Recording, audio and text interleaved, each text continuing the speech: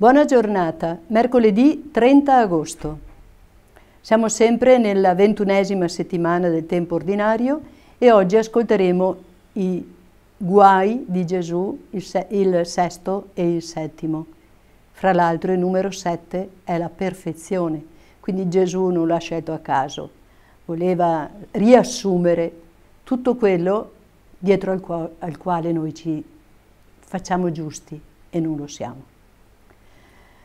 Preghiamo, ci aiuti Sant'Agostino con la sua parola a pregare. Vieni in me, Spirito Santo, Spirito di sapienza, donami lo sguardo e l'udito interiore. Vieni spirito dell'amore. Riversa sempre più la carità nel mio cuore. Vieni in me, spirito di verità. Concedimi di pervenire alla conoscenza della verità in tutta la sua pienezza. Vieni in me, Spirito Santo, acqua viva che zampilla per la vita eterna. Fammi la grazia di giungere a contemplare il volto del Padre. Amen. Dal Vangelo di Matteo leggiamo, sempre dal capitolo 23, i versetti 27-32.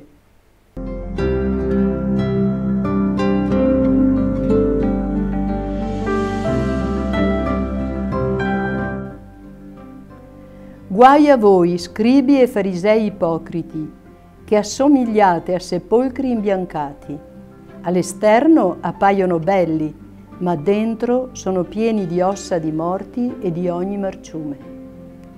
Così anche voi, all'esterno, apparite giusti davanti alla gente, ma dentro siete pieni di ipocrisia e di iniquità. Guai a voi scribi e farisei ipocriti, che costruite le tombe dei profeti e adornate i sepolcri dei giusti e dite, se fossimo vissuti al tempo dei nostri padri, non saremmo stati loro complici nel versare il sangue dei profeti. Così testimoniate contro di voi stessi di essere figli di chi uccise i profeti. Ebbene, voi colmate la misura dei vostri padri. Questo è un discorso severissimo di Gesù e anche molto spiacevole, una similitudine che nessuno di noi vorrebbe sentire. Paragonar, paragonare scribi e farisei, sempre chiamati comunque ipocriti, cioè falsi, paragonarli addirittura dei sepolcri. Sepolcri che hanno questa caratteristica dell'essere belli fuori, perché devono essere gradevoli a chi li guarda ma sappiamo bene che dentro sta avvenendo qualcosa che nessuno vorrebbe vedere. Dunque ci riguarda tutto questo? Direi estremamente di sì, soprattutto oggi, che viviamo nella società, si dice, della parvenza, dell'immagine, dell'esteriorità, esteriorità fra l'altro ingannevole, contrasti coperti da una falsa gioia anche.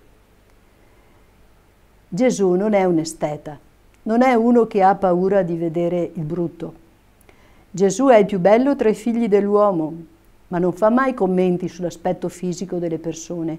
Casomai ha curato le persone, le persone malate, storpie, inferme, ha ridato vita, ha ridato esistenza, gioia e sempre ha perdonato il peccato è incoraggiato a camminare di più. Questa è la vera bellezza della persona. La, ogni essere umano è portatore di una bellezza che va oltre l'aspetto esteriore fisico ed è memoria di quell'alito di Dio spirato sulla creta di, di quello che è diventato il primo uomo. Dio spirò l'alito di vita e quella creta divenne Adamo, e da Adamo trasse Eva. Cioè, noi siamo i portatori della immagine stessa di Dio. Non c'è bellezza più grande. E questo vale per ogni persona. Questo basta a riscattare ogni persona umana dalla sua pochezza, dalla sua mediocrità, perfino dalla sua cattiveria, dalla sua bruttezza. Perché Dio non rinuncia mai a nessuno dei suoi figli per brutto che sia. A chi direbbe oggi Gesù sei un ipocrita? sei una maschera, una finzione. Io credo che tutti noi possiamo sapere di avere questa tentazione del farci belli anche quando sappiamo bene di non esserlo, di non saper chiamare per nome le nostre piccolezze o povertà. Oggi si dice che occorre autostima. Certamente è importantissimo che ognuno sappia il suo valore, però domandiamoci, da dove attingiamo noi l'autostima? Siamo noi stessi la misura della stima che vorremmo che gli altri ci attribuissero e che noi ci attribuiamo.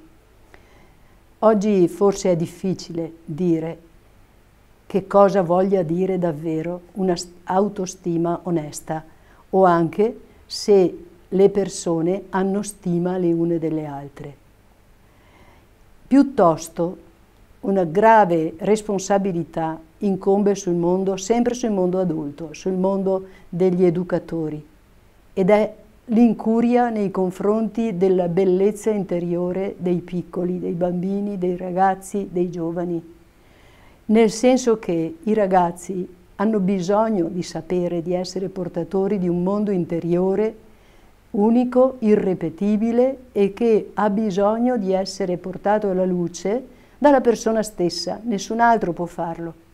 Ma a questo non è data tanta attenzione. Oggi sanno, di, vogliono apparire, si fanno protagonisti attraverso i social, i media vari, senza sapere che cosa davvero hanno da comunicare, da dire agli altri, perché non lo sanno neanche dire a se stessi. È come se fossero degli analfabeti della vita interiore che portano e volessero essere portatori di un grande annuncio tanto da doversi mettere in mostra.